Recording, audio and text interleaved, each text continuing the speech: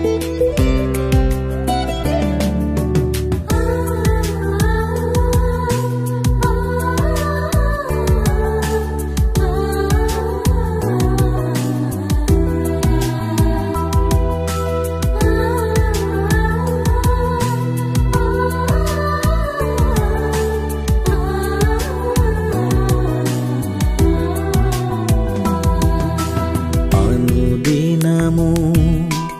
నా ప్రాణము.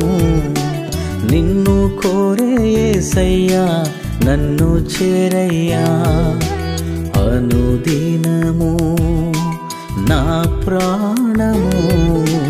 నిన్ను కోరే యేసయ్యా నన్ను చేరయ్యా. నిన్ను కోరే యేసయ్యా నన్ను చేరయ్యా. నీవే నా ప్రాణం ఏ ఏసయ్యా నీవే నా సర్వం. ఏసయ్యా నీవే నా ప్రాణం. ఏసయ్యా నీవే నా సర్వం. ఏసయ్యా అనుదినము నా ప్రాణము. నిన్ను కోరే ఏసయ్యా నన్ను చేరయ్యా. ప్రతిదినం ఆధ్యాత్మిక కార్యక్రమానికి ప్రేమతో మిమ్మల్ని అందరినీ ఆహ్వానిస్తున్నాను. రండి ఎలా ఉన్నారు? క్షేమముగా మీరు ఉన్నారని ప్రభు సన్నిధిలో నేను తలాంచుచున్నాను. ఎందుకోసమంటే మీ కొరకు నిత్యము మేము వ్యక్తిగతంగా ప్రార్థిస్తున్నాం. ఈ కార్యక్రమాలను వీక్షించే ప్రతి కుటుంబము కోసం నిత్యము దేవుని సన్నిధిలో ప్రార్థిస్తున్నాం. లేచారు కదా? మీ బిడ్డలందరూ ఈ వాగ్దానాలు వింటున్నారా? ఈ వాగ్దానాలు విని ధైర్యంగా మీరు మీ జీవితాలను ముందుకు తీసుకుని వెళ్ళండి. ప్రభువు మీతో నడుస్తాడు. మీ ప్రతి అవసరతలో మీ ప్రతి అక్కరలో దేవుడు మీకు తోడుగా ఉంటాడు. మనం మన దినాన్ని దేవునితో ప్రారంభించాలి. మనము లేవగానే దేవునితో గడపాలి. ఆ దినమంతయు కూడా దేవుడు మనతో నడుస్తాడు. అందుకోసమే ప్రతి దినము మనము యేసుతో ఆరంభించేలా మన జీవితాలని మలుచుకోవాలి. ఎవరైతే అలా మలుచుకుంటారో వారి జీవితాల్లో అద్భుతమైనటువంటి విజయాలను సాధించగలుగుతారు. మరెందుకు ఆలస్యం? ఈ దినమును మనం కూడా యేసుతోనే ప్రారంభిద్దాం. ఆయన వాగ్దానం స్వతంత్రించుకుందాం. రండి. కీర్తన గ్రంథం ముప్పైవ అధ్యాయం. ఐదవ వచన భాగంలో చాలా అద్భుతమైనటువంటి మాటను దేవుడు నీతో నాతో మాట్లాడుతున్నాడు. చూద్దామా? కీర్తన గ్రంథం ముప్పైవ అధ్యాయం ఐదవ వచనం. సాయంకాలమున ఏడుపు వచ్చి రాత్రి ఉండినను ఉదయమున సంతోషము కలుగును. ఎంత అద్భుతమైన మాట. నీకు సంతోషము కలుగు చేసే దేవుడు యేసుక్రీస్తు ప్రభువే. ఈ మాట్లాడుతున్నాడు ఇక్కడ. సాయంకాలమున ఏడుపు వచ్చి రాత్రి ఉండినను ఉదయమున సంతోషము కలుగుతట ఎంత అద్భుతమైనటువంటి మాటను. దావిదు రాస్తున్నాడు. మన జీవితంలో శ్రమ అనేది సాయంకాలం వచ్చి ఎలా వెళ్ళిపోద్దో మళ్ళీ ఉదయకాలం ఎలా వస్తుందో శ్రమ అనేది కూడా అలా వచ్చి వెళ్ళిపోద్దే తప్ప శాశ్వతముగా నీతో అది ఉండదు అని చెప్తున్నాడు. నిజమే. దావీదు తన వ్యక్తిగత జీవితంలో అనుభవించి మాట్లాడినటువంటి మాట. ఒకప్పుడు దావీదు గొర్రెల కాపరి. ఒకప్పుడు దావీదు అరణ్యములో ఒంటరిగా గడిపినటువంటి మనుష్యుడు. తన అన్నదమ్ములందరూ ఇంటి దగ్గర ఉంటే దావీదు మాత్రమే అరణ్యానికి వెళ్ళి గొర్రెల మందన కాయాలి. ఎంత బాధ ఉంటుంది ఎంత దుఃఖపడి ఉంటాడు తనకు కూడా తన అన్నలతో పాటు ఉండాలని కోరిక ఉండింది. తనకు కూడా తన అన్నలతో పాటు యుద్ధరంగానికి వెళ్ళాలని కోరిక ఉన్నది. తనకు కూడా తన అన్నలతో పాటు ఇంటి దగ్గర ఉండాలని కోరిక ఉండేది. కానీ తండ్రి తనను చిన్న చూపు చూసి నువ్వు చిన్నవాడివి నువ్వు మందనకాయి చాలు అని అరణ్యానికి పంపితే అరణ్యములో కన్నీరు కార్చిన రోజంటూ ఏదీ లేదు. అరణ్యములో ఏడవని రోజంటూ ఏదీ లేదు. నిత్యము ఏడుస్తూ కూర్చుని ఉండేవాడు. అటువంటి తన జీవితంలో ఒకానొక రోజు అద్భుతముగా దేవుడు దర్శించి దేవుడు తనను ఆశీర్వదించి ఇస్రాయిల్ దేశానికి రాజుని చేశాడండి. ఎంత గొప్ప ఆశీర్వాదం. చాలామంది మనుషులు ఈ భూమి మీద కృప కోసం ప్రాకులాడుతూ ఉంటాం. మంచిదే. కృపను వెతుక్కుంటూ వెళతాం. మరీ మంచిది. కానీ అనేక మందికి ఆ కృప దొరకకపోవచ్చు.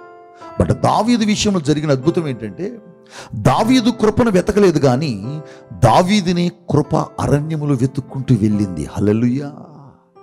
ఎంత గొప్ప ఆశీర్వాదం అది. ఎంత గొప్ప దీవెన.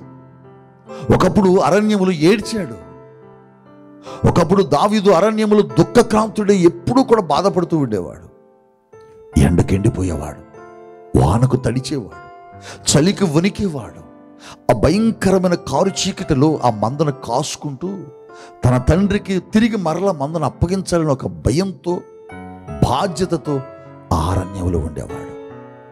ఎప్పుడు తన సహోదరులు ఇంట్లో పరుండుకునేవారు. మంచి భవనములో తన సహోదరులందరూ విశ్రాంతి తీసుకునేవారు. కానీ గొర్రెల దొడ్డిలో పడుకునేవాడు దావేదు. ఎంత భయంకరంగా ఉంటుంది. గొర్రెల దొడ్డిలో గొర్రెలతో పాటు ఆ మురికి కోపములు వాటితో పాటుగా పరుండుకునేవాడు. గొర్రెలలో ఒకటిగా కలిసిపోయేవాడు దావేదు. ఏ రోజు ఇంట్లో పడుకున్న అనుభవం లేదు. ఏ రోజు సంతోషంగా గడిపిన అనుభవం లేదు. అటువంటి దావీదు జీవితంలో కొద్ది రోజుల తర్వాత దేవుడు తనను ఆశీర్వదించి దీవించి ఉన్నతమైన కృపలకు నడిపించాక ఒక మంచి గృహాన్ని కట్టుకొని ఆ గృహ ప్రవేశం రోజు రాసిన మాట ఇది. ఇది గృహప్రవేశం రోజు రాసిన అద్భుతమైన మాట. అద్భుతమైన మాట. మంచి గృహాన్ని కట్టుకున్నాడు దావీదు. ఆ గృహ ప్రవేశం రోజు. ఆ గృహాన్ని చూసి ఆ దేవదారు వృక్షములతో కట్టబడినటువంటి ఆ ఉన్నతమైనటువంటి భవనాన్ని ఆ ప్యాలెస్ను చూసి దావీదు ఏడుస్తూ అంటాడు ఒకప్పుడు గొర్రెలను కాసుకుంటూ అరణ్యములు పడుకున్న నేను ఒకప్పుడు గొర్రెలు కాసుకుంటూ ఎండకు ఎండిపోయి వానకు తడిచి ఆ చలిలో భయంకరంగా వణికి గొర్రెల దొడ్డిలోనే పడుకున్న నేను కొన్ని సంవత్సరాల పాటు నా జీవితంలో అటువంటి శ్రమలు అనుభవించినప్పటికీ ఇప్పుడు దేవుడు నాకు చక్కని గృహాన్ని ఇచ్చాడు. చక్కటి ఆనందకరమైనటువంటి గృహాన్ని దేవుడు నాకు ఇచ్చాడని గృహప్రవేశం రోజు రాసుకున్న మాట. నా జీవితంలో కష్టాలు వచ్చాయి శ్రమలు వచ్చాయి ఇరుకులు వచ్చాయి ఇబ్బందులు వచ్చాయి. అవి కొన్ని రోజులు మాత్రమే సాయంకాలం వచ్చి ఎలా వెళ్ళిపోతుందో తర్వాత ఉదయకాలం ఎలా వస్తుందో నా జీవితంలో కూడా శ్రమలనేవి వచ్చి అలా వెళ్ళిపోయాయి. ఇప్పుడు నేను సంతోషముగా ఉన్నాను అంటున్నాడు దావీదు. తన కన్నీరినట నాట్యముగా మార్చాడట. తన యొక్క దుఃఖమునట సంతోష వస్త్రముతో ఆయనట ఇదిగో ఆయన అలంకరించాడట. ఈ ఉదయకాలం నువ్వు కూడా భయంకరమైన బాధలో ఉన్నవేమో.